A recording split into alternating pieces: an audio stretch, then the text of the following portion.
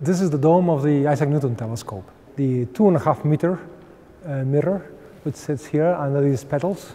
And this telescope is used to take images of the sky. It has a, what is called a wide field camera. The camera has a mosaic, so you can take an image of a big chunk of the sky. This is Messier 33. This picture was taken through uh, this telescope using this camera up there. We're going to try and take a short exposure, snapshot image of a, a very popular galaxy called M33. But the first thing we do is just call up uh, our galaxy. So I type in M33, click on find, and then we'll start the telescope moving. And it's going to go right the way around the sky. This is the Triangulum galaxy. It's in the constellation of Triangulum, which is one of the more boring constellations, as you might imagine. It's a triangle of stars. I mean, it's quite a pretty galaxy. It's got very nice spiral structure. It's a sort of archetype. But what's a little strange about it as a galaxy is that it doesn't have a bulge in the middle. So typically spiral galaxies like the Milky Way have a thin disk of stars and then this sort of round fuzzy bit in the middle called the bulge. So they look a little bit like sort of two fried eggs glued back to back. Typically it's thought that a blob of gas just collapses down to form a disk and nothing bad happens to it. The bulge bit in the middle seems to be more associated with mergers where you have things colliding together to form a, a fuzzy rounder thing in the middle. So it seems likely that this galaxy has just led a very quiet life. Nothing much has ever crashed into it, so all you've got is this disk and none of the sign of a signature in the middle. When we observe, when we look at the sky, we don't get these colors.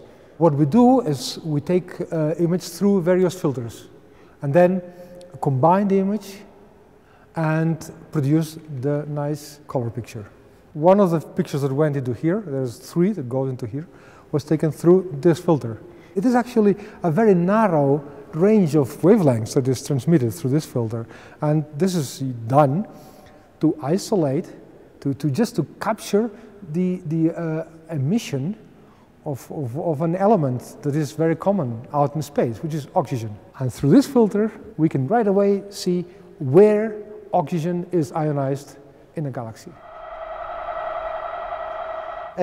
M33 with a nice satellite trail oh, across it, as you've just seen. what's happened there? So that's a, a satellite trail. Some piece of uh, hardware in orbit, maybe a spy satellite or something like that, has just happened to pass through the field of view of where our telescope's pointing, which is rather unlucky because the telescope's actually looking at a fairly small area of the sky. M33 is a spiral galaxy, but because the sky conditions aren't good, all we can really see at the moment is the central core of it, just this faint fuzzy white area in the middle. This other stuff you see here is probably light pollution. So what we'll do, we'll try and improve this now by uh, taking a longer exposure. So, um, Nik, I'm so excited that happened. I'm sorry. No. Oh, there'll probably be more. Don't worry. There'll probably be more. Don't. When people started studying the centres of galaxies, they found that almost all of them seem to have these supermassive black holes in the middle of them. Our own Milky Way has a black hole that's a few million solar masses, which is typical kind of size for these black holes. And so people started trying to figure out where these black holes had come from and what they were associated with.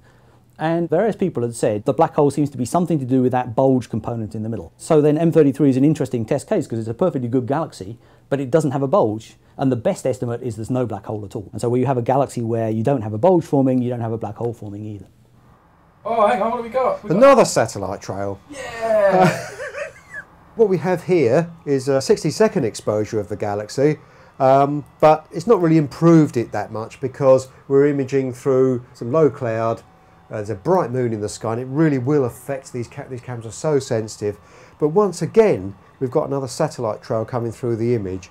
So with all due respect, Nik, because you're a great astro imager, that image you've got there shows almost everything that can go wrong with yeah, the astro. That, that's, um, that's an image that uh, I wouldn't normally save. Um, the sky conditions just aren't good enough for galaxy imaging tonight. There's too much haze and low cloud and the full moon just very close in the sky. I can take another one just to see if we catch any more satellites. okay. I'm not clear what I should be taking from this. It's kind of a chicken and egg scenario. Does do the black holes cause the bulge, or is the bulge a symptom of the black hole? Uh, if you knew that, you'd get a lot of kudos in astronomy. It's one of the, those problems we're currently struggling with. Is we know the two are related to one another, but we don't know whether the black hole's there first and you form a bulge around it, the bulge is there first and you form a black hole in the middle, or perhaps more likely the two kind of grow up together. The problem is we get this snapshot view of a galaxy. And so we can't see a galaxy changing with time and seeing this bit in the middle growing and therefore the black hole growing because that happens over billions and billions of years. This big chunk here looks like a spider. This is a nebula that shines in oxygen light. They shine ultraviolet radiation actually. and that ionizes the cloud of gas around it. And this light here is light of the gas that is ionized. And this, of course, is a very good galaxy for that. You have many different ionized regions that you can study. Got another one coming. The suspense. Mm, no? Oh, okay. Great. No satellites. Yeah, it's a pretty grim image though.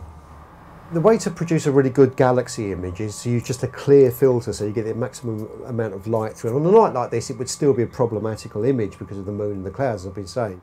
What we're seeing here is an image of M33 taken through a red filter. So this isn't doing the galaxy justice. And um, as someone who's been imaging a long time, it's quite painful to see images of this poor quality.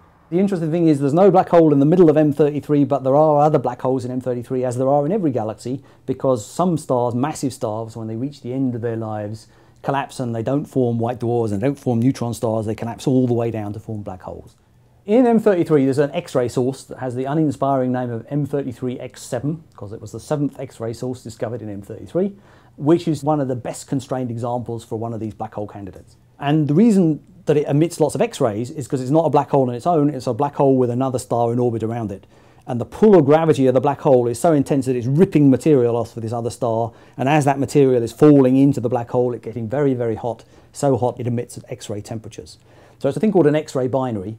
This is the one that's called an eclipsing X-ray binary, which basically means that the thing is exactly edge on, so that one object goes in front of and behind the other. And so from time to time it disappears as it goes behind. And the reason why that's very useful is that means we know exactly what the inclination of this system is. It's exactly edge on. That takes out one of the big unknowns when we're trying to study the properties of these things.